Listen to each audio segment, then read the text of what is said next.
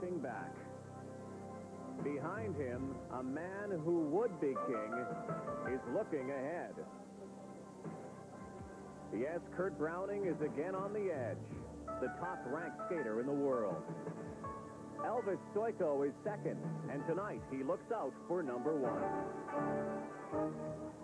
United, they skate. Isabelle Brasseur and Lloyd Eisler, the defending pairs champions of Canada. But this year they have a different look, a different feel. Above all, Lloyd is healthy, and now he and Isabelle begin another journey that eventually leads to the Winter Olympic Games.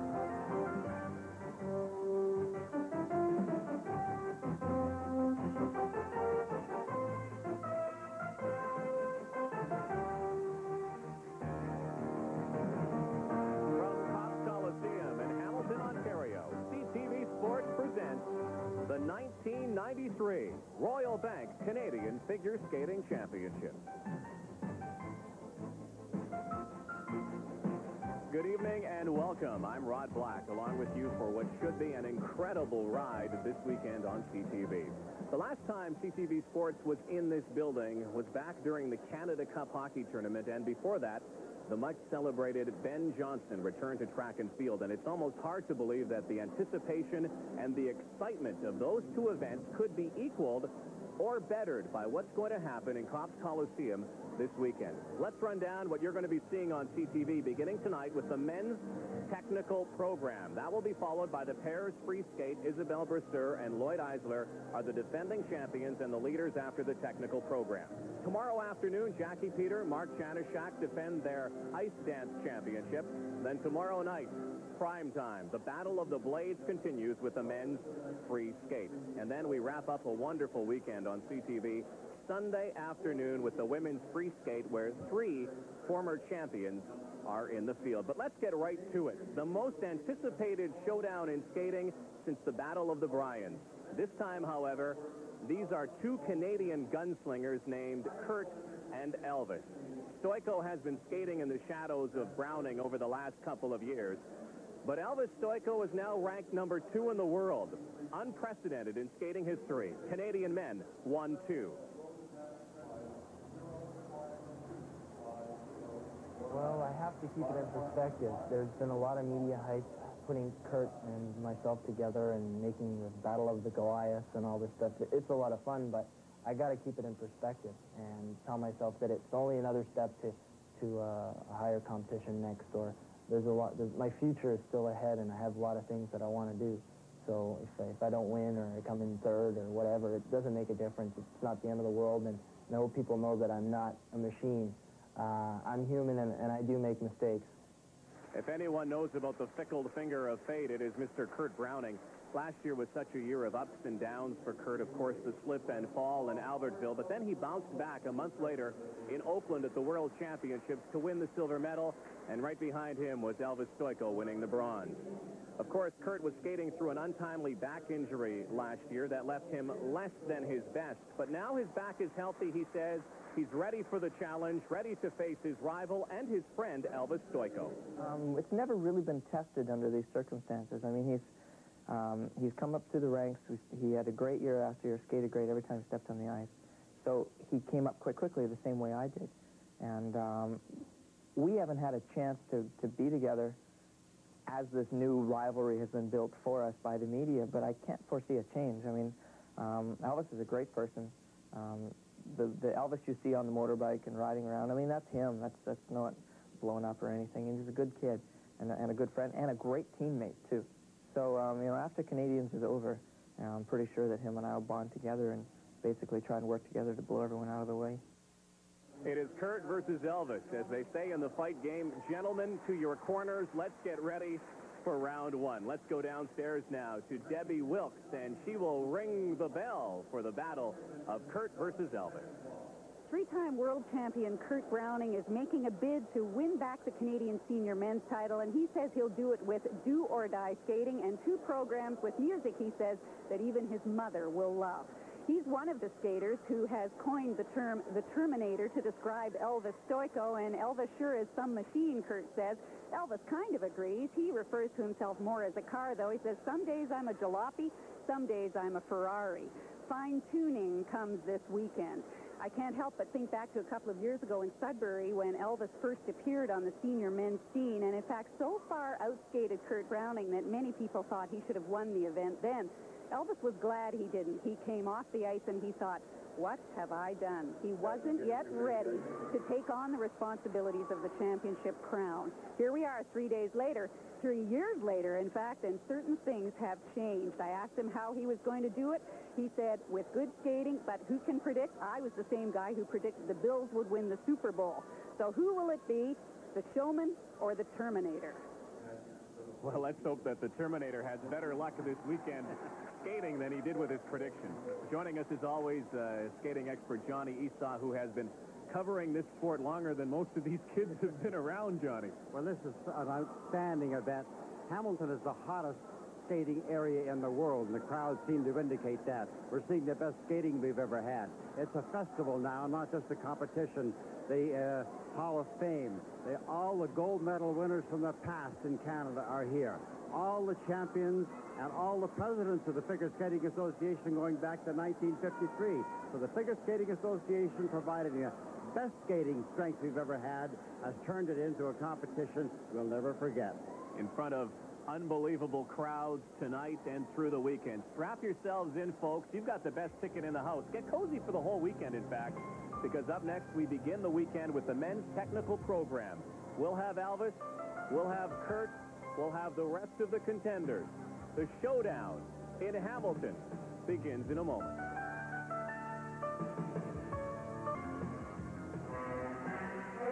Every year at the Canadians, there is a name that just pops out of somewhere. Maybe a dark horse. Who knows? Second recently at the Atlantic Divisionals. This is Jean-Francois Hebert from Warwick, Quebec. He has all the tricks, Rob, all the triples, including the triple axel. He has warmed it up and will be attempting it as part of the combination.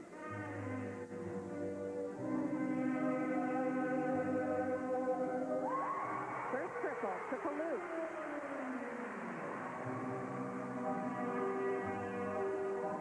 So often we've talked about getting that first jump. Everybody has a different game plan, a different style.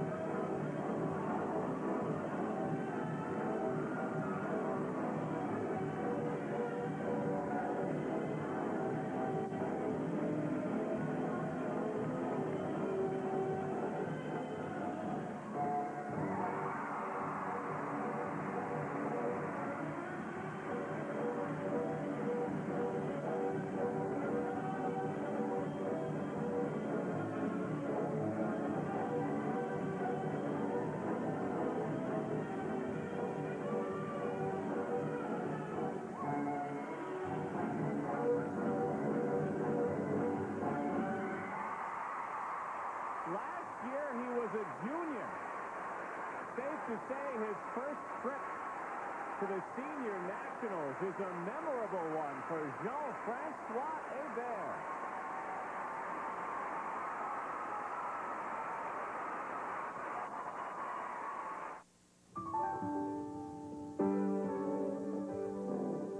Heading, wow.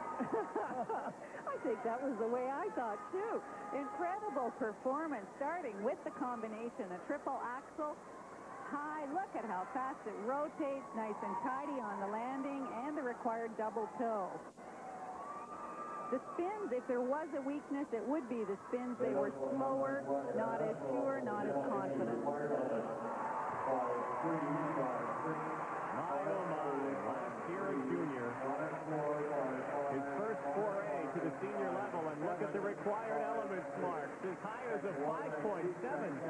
6.6 is sprinkled in there, too. And for presentation, the marks for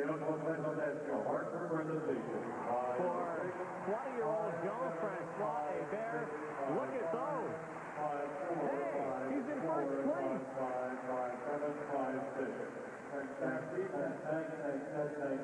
Well, he's been called everything from the jumping demon to a machine to the Terminator.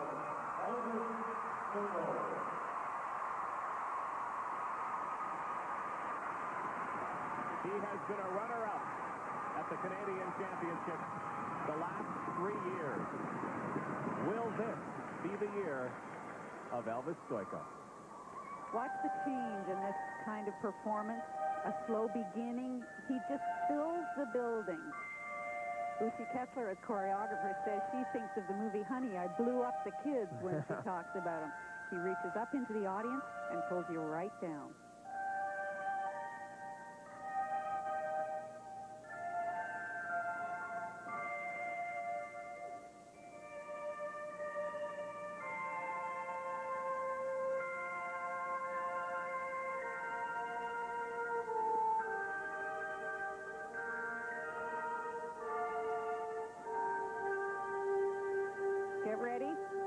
With a back outside spiral into the triple axel.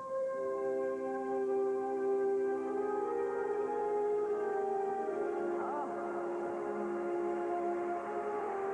A not an illegal combination since the triple axel was landed with turns before the second jump. Now he has to work, Debbi. Kurt Browning is watching on the sidelines.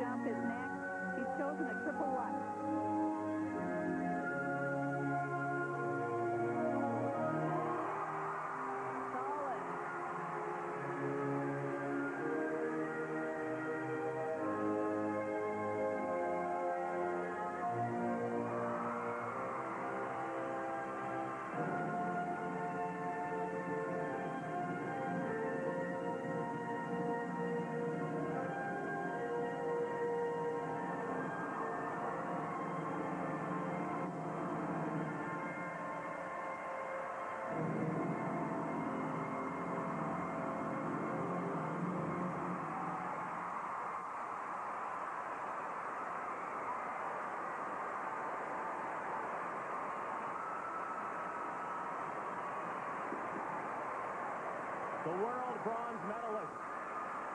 Technically ranked number two in the world. Elvis Stojko, a standing ovation in Hamilton. Yes, he does. And but for a stumble, Elvis was right on tonight.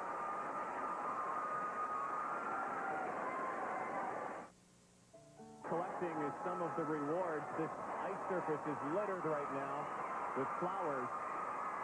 One tough beginning. The combination was the problem. A fabulous entry, the concentration showing. Up he goes into the triple axel. The free foot never pulled back to get him successfully into the second jump. His most improved area, however, are the spins. He is doing some incredible stuff. This one, my favorite, a flying camel out of a back Arabian. They continued fast and beautiful position. It was amazing how he was able to hang on and still not hit the ice. It's, I think that's one of the incredible things about his evolution, if we can call it that. He is hanging on to the programs and still performing well. Marks for required elements and for presentation. You saw the element marks. Look at the presentation marks. A couple of years ago, he never would have gotten that. Elvis Stojko says hello to Canada, and currently he is the leader after his technical program. Guess who's next? Yes, on the ice, center ice. He missed last year's Canadians, and up and down year for Kurt Browning. But Kurt is back. And apparently with a healthy back.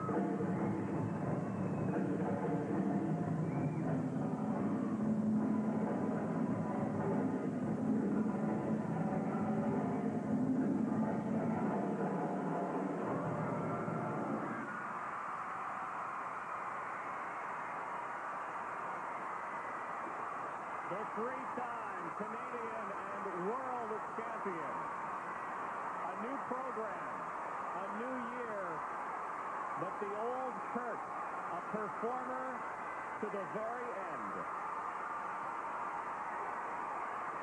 And a clutch performer at that.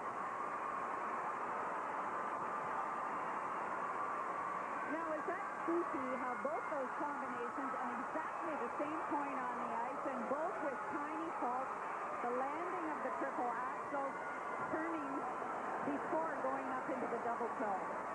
Kurt recently had a sacroiliac problem. He called it a pain in the butt. he fell on his backside in practice. He thought it might affect him. Maybe it did in the combo early, but it showed no ill signs throughout the rest of the program. Both Elvis and Kurt in the combination were practicing earlier today doing triple axel, triple toe. Triple axel went up beautifully. Just a bad lean on the body, continuing to the double toe. And finally, the double axel at the end of the program, a simple jump for Kurt, but very often a real problem for him. Simply because it's at the end. Well, the flower shops in Hamilton did a very brisk business today. Here are the marks for the required element upcoming. This is going to be very close, Dan. 5.4 the low mark. There's a 5.3, some 5.7. Now, the marks for presentation will be better. They always are for Kurt Browning.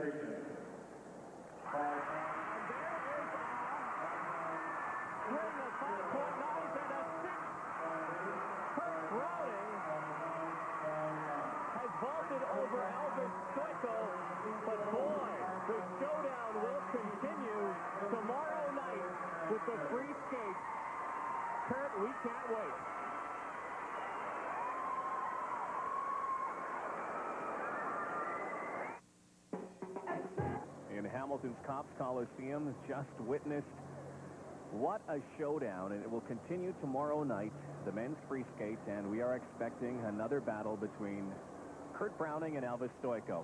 Kurt Browning, of course, moved uh, cities, changed cities in the offseason. In the last couple of months, he moved to Toronto. He changed coaches, uh, leaving Michael Jiranek behind and uh, coming together with Louis Stong, and now he is the leader. Kurt Browning on top, Elvis Stojko is second, Jean-Francois Hebert is third. Here's Debbi Wilkes and our leader. Kurt, how do you like the new program? This, well, this program is is, uh, is a lot like my exhibition numbers are a lot of fun. A real chance to try and get something through to the people and not just worry about uh, the elements of the program. Uh, get the first two jumps with, done 'em, and then party. That's what it's all about. What happened in the triple axel? Oh, darn. I, I don't know. I, I jumped. I was thinking calm, calm, calm. I mean, the people here are great.